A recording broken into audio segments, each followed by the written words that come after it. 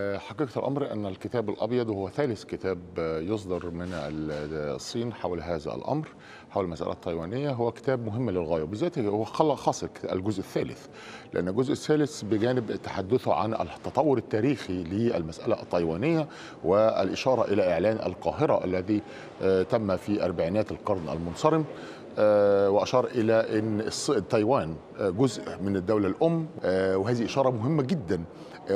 كما كما يجرى الحال مع هونغ كونغ وماكاو وكذلك أيضا إن الانفصاليين ومحاولة الانفصاليين على دعم الانفصال لتايوان واللوبي التايواني الذي يحاول أن يلعب مع الولايات المتحدة الأمريكية ويلعب مع الدول التي تشجع العملية الانفصاليه سيفشل.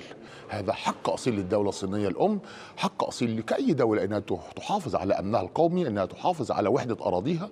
تعتقد فاطمة بدوي مديرة الشؤون الدولية في الأخبار المسائية اليوم المصرية أن الصوت النشط للعديد من الدول العربية وحتى المجتمع الدولي بشأن مسألة تايوان يدعم مبدأ الصين الواحدة الذي يعكس الموقف المشترك للعالم.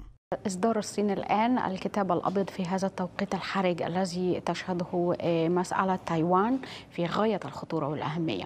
الكتاب الأبيض ركز في حيثياته على أن ضرورة وحدة الأراضي الصينية ووحدة الصين وهذا لم يكن رأي الصين منفردة ولكنه كان رأي عالمي. تأييد 170 دولة على مستوى العالم وخاصة الدول العربية ومصر أن تايوان جزء لن يتجزأ من الصين.